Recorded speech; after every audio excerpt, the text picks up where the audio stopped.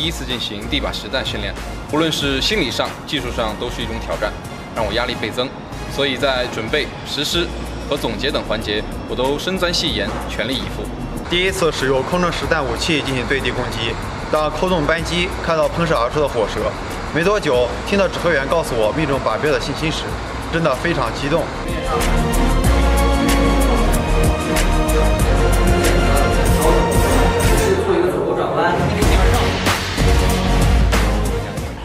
全武器对地攻击训练科目是飞行学员由驾驶员成长为战斗员的重要一环，在设置战术背景条件下，